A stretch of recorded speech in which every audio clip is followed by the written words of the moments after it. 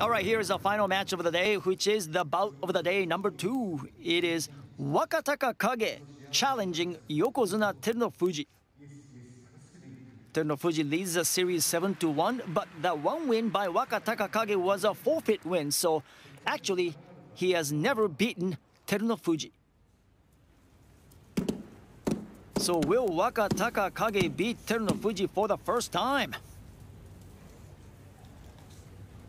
Terunofuji now riding a 19 match winning streak.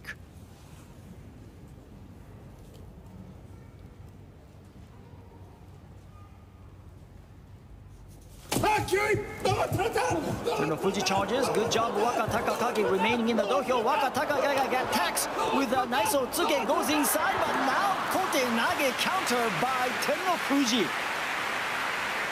What a move by the Yokozuna. Wakatakakage went chest to chest with the Yokozuna toward the end, and that's when Terunofuji unleashed a strong Kotenage with his left hand, and Terunofuji wins the match. Terunofuji has now extended his winning streak to 20. This man came close, but not enough to beat the mighty Yokozuna. Nice move by Wakatakakage. Now Wakatakakage keeps moving, keeps himself in constant motion. He attacks with a strong Otsuke with his right hand, but when they go chest to chest, Terunofuji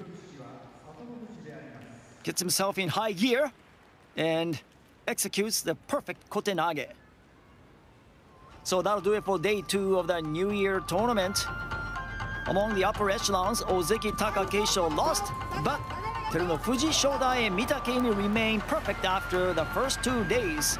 Come back tomorrow for day three matches of the Makunouchi Top Division for Grand Sumo highlights.